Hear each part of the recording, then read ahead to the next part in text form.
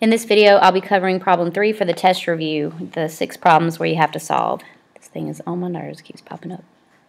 All right, so remember the first step for solving any type of equation with radicals is to remember first isolate the radical.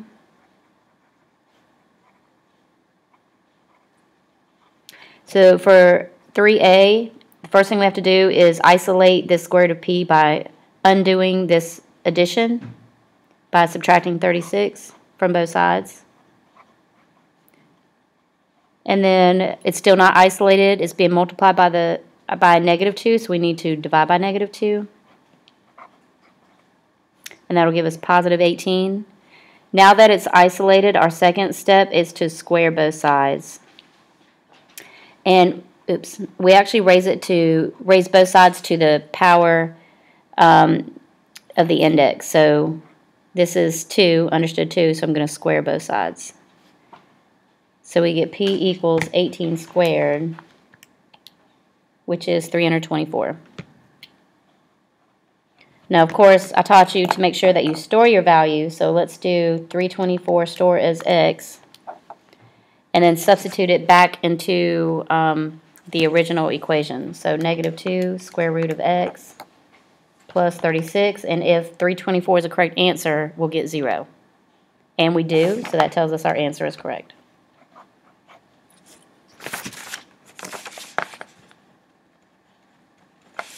Next, for B, um, we see that the radical is isolated on both sides. Because it's the cube root, we actually will cube both sides. Cubing a cube root cancels it out, leaving 5c minus 6 equals 3 cubed, which is 27. Then it just becomes a linear two-step equation. Um, 33. So 33 fifths. So let's check it out. So 33 divided by 5, store as x. And then I'm going to type in cube root. So I go to math, 4 5x minus 6. And if it's correct, it will come out to equal 3. And it does, so we're good.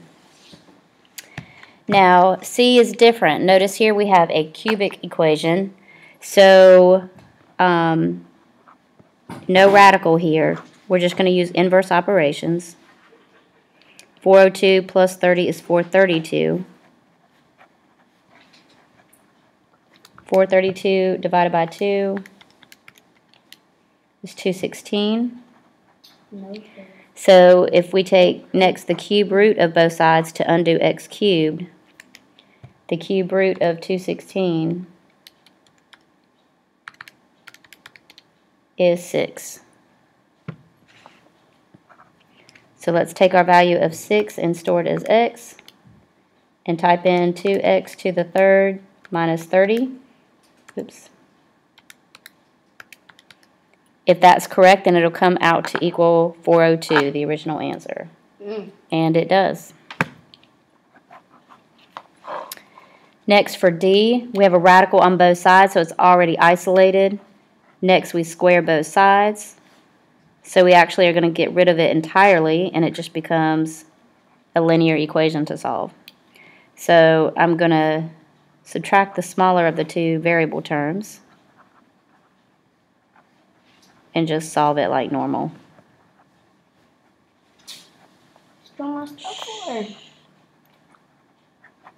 So I got 7 halves. So I'm going to store it for x. And this time I have my variable on both sides, so I simply need to type in the square root of those on both sides. So I'll look back here at D and make sure I type it in right. So square root of 7x minus 6, hit enter. Square root of 3x plus 8, hit enter. They do match.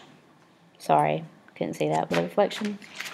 So that means that our answer of 7 halves does work. On E, we're solving 3x squared minus 81. We isolate your x squared term.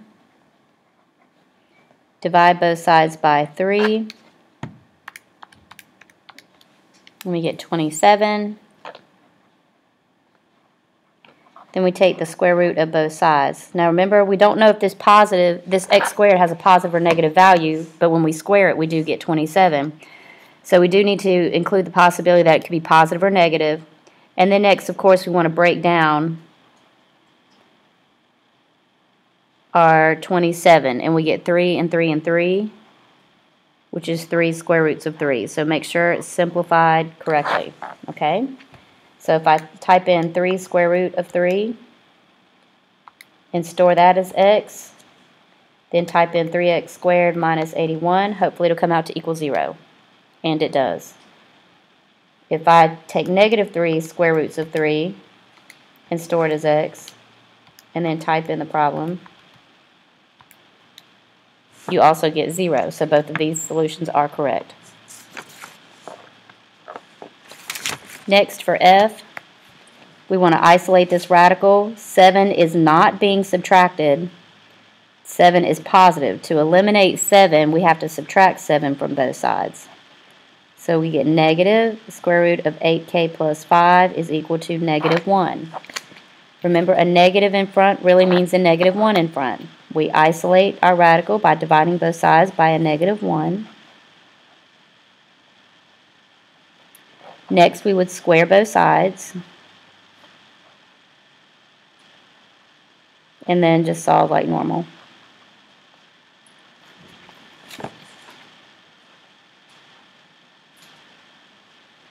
And I get negative 1 half. So let's take our negative 1 half and store it for x. And then go back to our original problem. 7 minus the square root of 8x plus 5, and hopefully it comes out to equal 6. It does. Um, put it where you can see it. It did come out to equal 6, so our answer is correct. Hope that helps. Good luck on your test, guys.